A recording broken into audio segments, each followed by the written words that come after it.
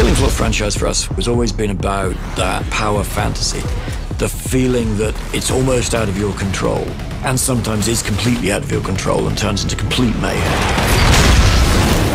I've been making Killing Floor since the beginning. We didn't really have like official titles. I did a lot of initial game mode prototyping and just anything to get the game up and running. The original Killing Floor we did with, I think we were 12 or 15 people.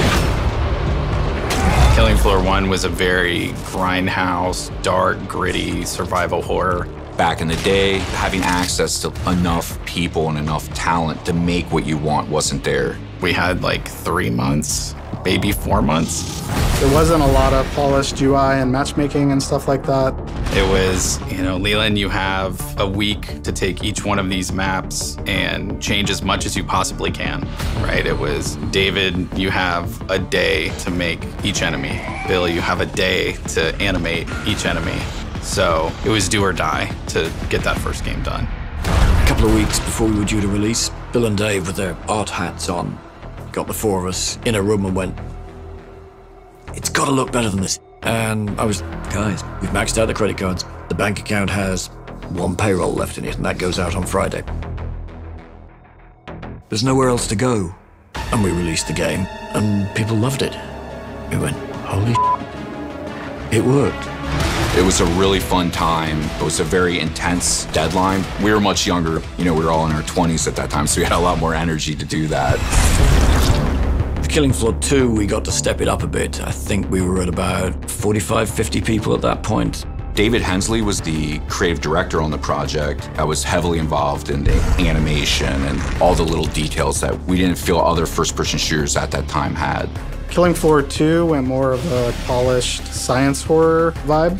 There's much more weapons and classes. You actually have modern server infrastructure with matchmaking. We had perks, and each one of those perks would have different bonuses for different types of weapons, certain different ways to play. The enemies move faster, the difficulty is more intense. It's its own thing. Well, that was our first real tilt at the consoles as well.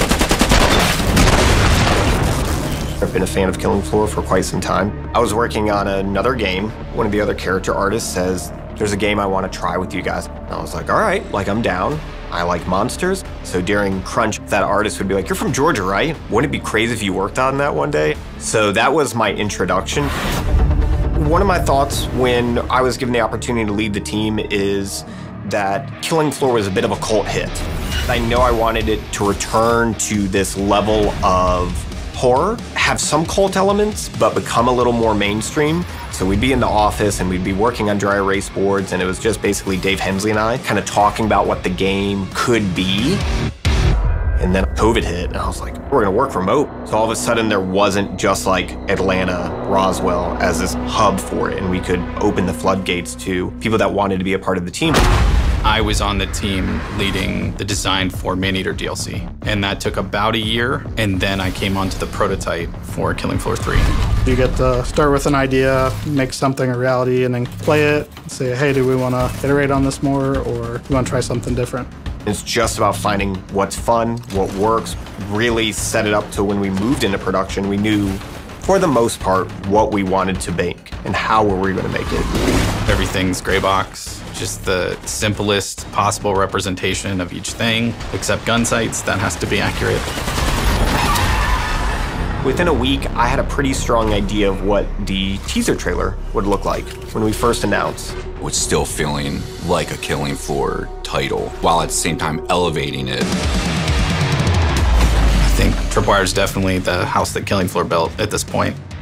There were fun things about the scrappier days. I think as we've grown, we've kept the heart of what makes Tripwire special while also becoming more professional, having access to better technology and more skilled employees. It's been 10 years. Let's step the game right up um, and give people some new challenges.